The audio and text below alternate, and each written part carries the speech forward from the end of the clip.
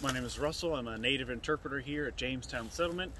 I work here in the Paspahegh town site and today we'll be covering the Powhatan longbow which would be used here in what the Powhatan would call Tsenacomoco or what we call today Virginia.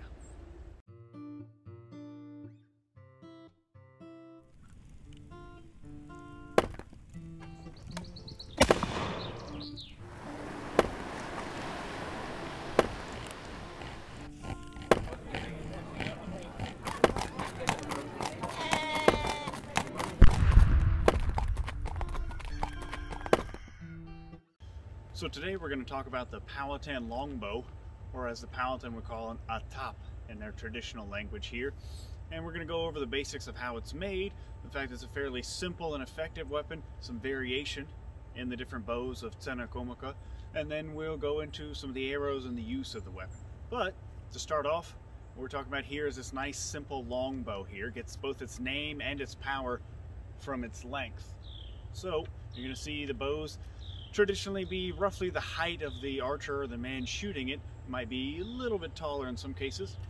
We're going to have four primary woods that we know of traditionally used for these. Hickory, which is actually a Powhatan word, mulberry, different types of oak, primarily reds, and also black locust being mentioned as a favorite amongst the Powhatan bow makers. And so you might have a five to six or so foot bow. Generally, following one grain of wood, so the actual bark would be out here on the face of the bow originally. The heartwood is going to be in this direction. It's going to lay down those growth rings nice and even. Your twine or string here is going to be out of one of three things primarily. Tendon, leather, or in this case, gut, the intestine from different animals. You'll see no sight or shelf. Primarily you're shooting right off of your own knuckles and then some fairly simple square or even cut in or sloped nocks.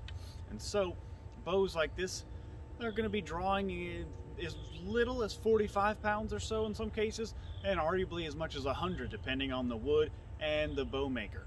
So basics of the Powhatan longbow. Powhatan people are going to start training with one, mostly the boys, at about five or six years old. Small little version getting stronger bows and better arrows as they age up. And by the time they're adults around 16 or so, the Powhatan boys are expected to hunt, fish, and go to war with a bow like this, and they're going to be making their own as well. The English colonists write with uh, some pretty decent respect for Powhatan archery. One of them in later days writes that I imagine the world hath no better marksman with the bow and the arrow that they shoot the birds from the air. He says the beasts as they run and fish as they swim. With such a strength, he says, I saw them shoot one of our unarmored men clean through, nailing his arms down to his sides. He was most impressed, however, that a boy of theirs, he says, no more than 12 or 13, killed a bird with his arrow in my sight. So that is a constant practice from a young age and a tremendous amount of skill. Other English accounts reference the men hitting level or near their mark at 40 yards reliably, hitting their best random shots at 120 or so. And even in a test, piercing an Englishman's shield, although he says our pistols will not do the same. The bow, you'll see versions like mine, which is fairly flat here, a little bit rounded in profile. You'll see others that are true flat bows, like this red oak one here. You can see is flat across the way little different design than an English style longbow. And then you might even see some variations like this with a wide limb, oftentimes referred to as a Sudbury style bow off of a specific example that was taken from the man. And to go with that bow, you're going to need a host of arrows. And they are going to come in a whole variety of different uh, sizes and points and all, but we'll go over some of the very basics. Simple blunted and sharpened points commonly for squirrels, rabbits, and small stuff. You'll move into uh, bone and stingray spines and gar scales and antler for fish, birds, medium game, maybe even warfare. And then for big game, you're to see these nice stone triangular points, generally no larger than this. Deer, bear, wolves, and mountain lions, people you don't like, stuff like that, they're going to take down with this type of arrow. And these arrows are going to function specifically, these nice stone pointed ones, pretty effectively bringing down large game because these nice teeth along the edge of the point and the fact that the materials, the flints and jaspers that these points are made out of, quartz and rhyolite, can be finer than a steel edge. So once they bury in, any movement of the prey or the enemy is going to cause this to rock around like a loose saw blade. So the Powhatan men, the hunters and warriors are going to be pretty effective at using these to bring down just about anything out in the woods of Virginia at the time.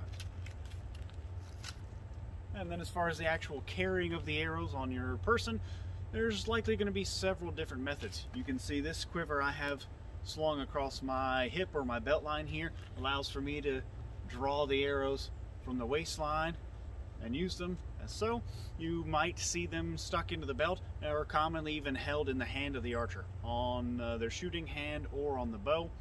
And then certain quivers, um, like this one, which is a copy of one recovered from Virginia in this time period, uh, may be a little bit more or ornate or fashionable depending on who's making it. But that is the very basics of Powhatan style longbow. So in the actual use of the longbow, you're going to see the string here, the nock of the arrow. It's going to be clipped right onto the string like so, and with a little bit of tension, it's going to be held in place. You can see the actual nocks of the arrow, that little gap at the back allow you to do that, keep it in place. Some of the traditional nocks for many eastern woodland tribes are going to be fairly shallow, so it's going to require a good bit of tension actually on the string, keeping the arrow in place until it's meant to be drawn and fired.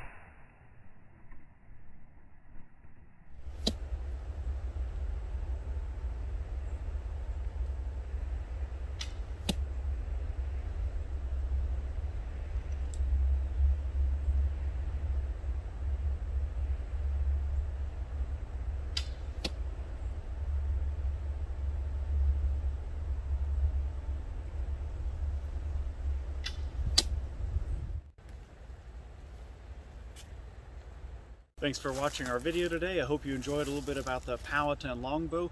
Be on the lookout for other topics about Powhatan native life and other videos to come. And uh, don't forget to like and subscribe.